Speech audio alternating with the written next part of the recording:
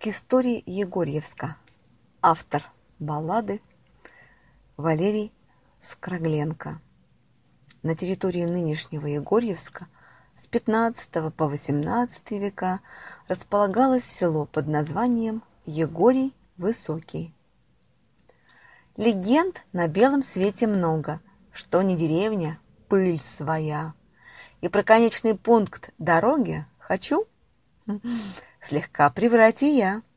Без злого умысла, понятно, без лагирующих прикрас, но так домысливать занятно, что скрыто временем от нас. И в сказках есть, как нам известно, рациональное зерно, но врать стараться надо честно, иным художникам дано. Бумага есть, перо и пицца для облегчения вранья.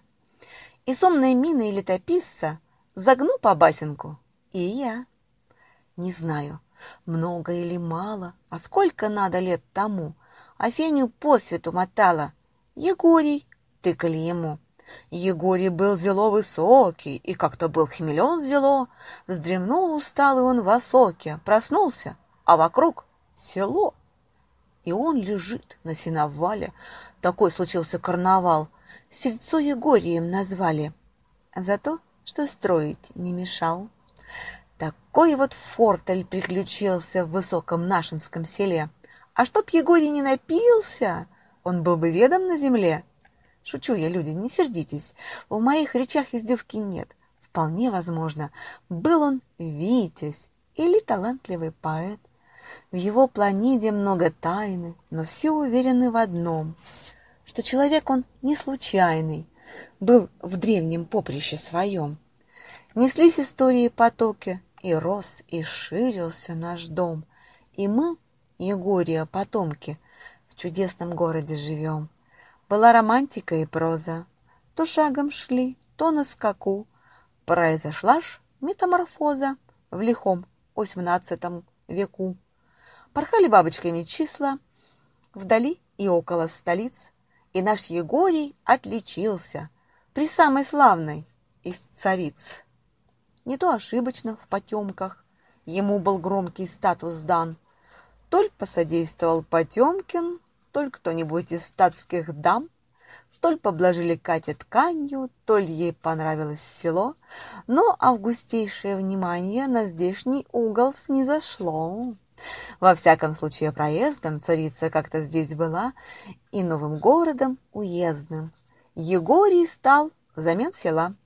И стало ясно, что не в горесть ему зайти на пьедестал. Ученый краше стал Егорьевск, а заодно богаче стал. Цвети же, град, во славу Бога, привычный облик измени, тебе сограждане помогут. Купец Никитин, Казьмины. Отстроит школы да соборы. Бардыгин, города глава. А если процветает город, Екатерина, ты права. Потом другой был узаконен характер ценностей и дел. Рев военком Григорий Конин. Но, в общем, дух не оскудел. Отгрохотало, отсверкало, как будто отснято кино.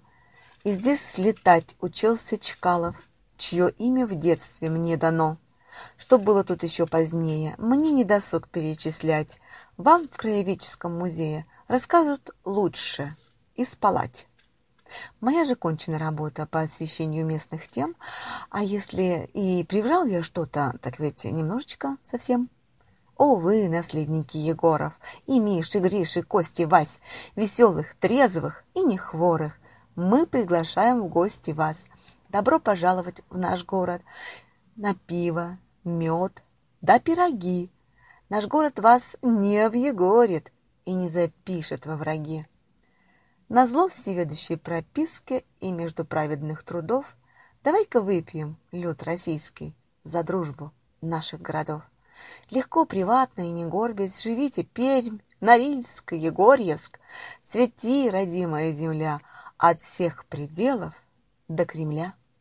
Десятки сотни путанных дорог на белый свет расходятся от МКАДа, чтобы любой свободно выбрать мог, куда ему сегодня очень надо.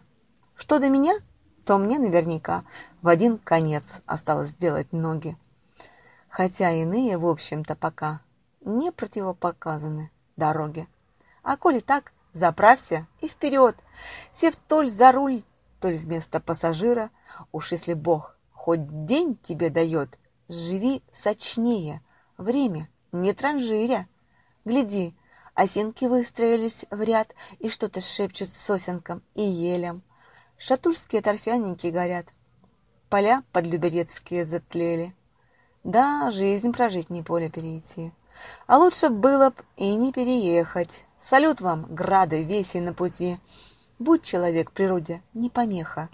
Какая б ни случилась полоса в твоей судьбе, живи по-человечьи.